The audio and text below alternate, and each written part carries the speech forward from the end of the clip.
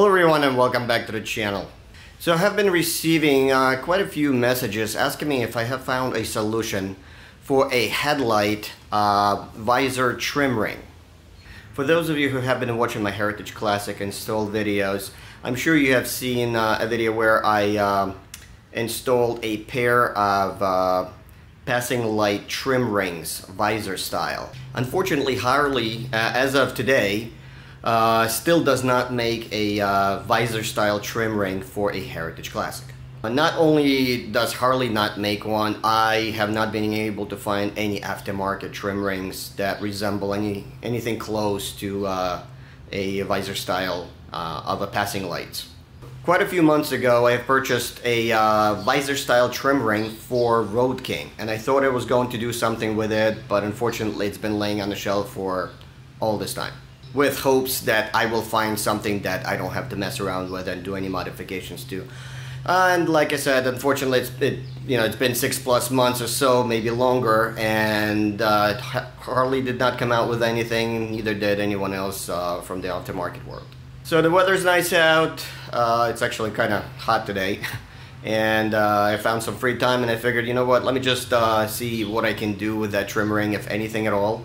Uh, and if you're watching this video, chances are I made something work. So uh, without wasting too much time, let's take a look at the trim ring that I have and some of the ideas that I have to get this thing mounted that will look semi-decent on the bike.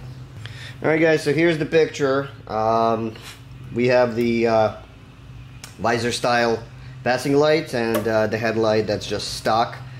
Um, know, I'm still still wondering why Harley hasn't made anything to match these two, but it is what it is. And so here is the trim ring that I purchased.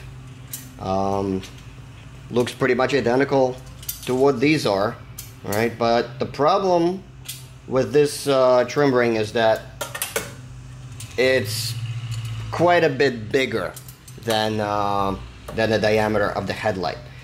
So my thoughts are on this. Um, basically what I'm what I'm going to try to do, and if you see here, I'm going to try to take just a little bit off on each side, uh, just trim it off and bring it closer together, and measure how much bigger uh, it still is uh, from the from the stock headlight.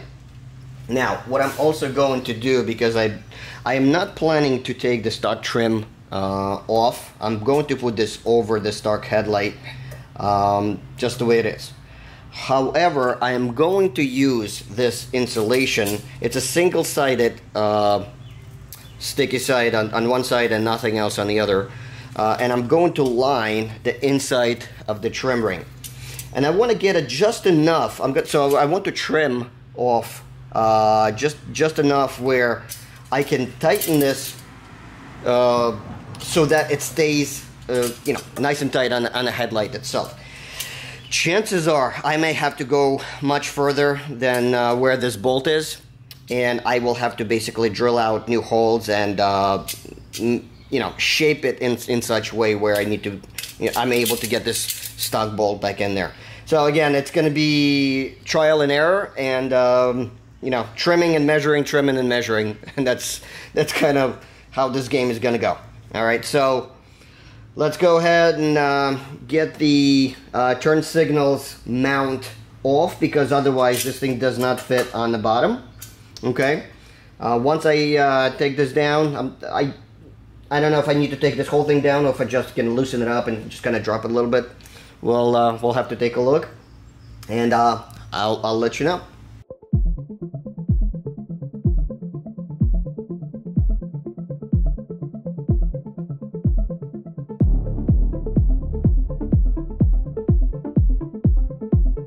All right, so what I did, I just loosened up the two bolts on the bottom. Now the trim ring can uh, go right over the headlight. Uh, that, like I said, there is quite a bit of uh, wiggle room here, as you can see. So let's go ahead and get a Dremel, and uh, I would say I would say I'm probably going to go an eighth of an inch on each side, and uh, see see where we are with the space wise, and I may actually take uh, one of these insulation strips, put it in, in, in the center, and see where we line up as far as the uh, tightness and uh, and just you know how it looks.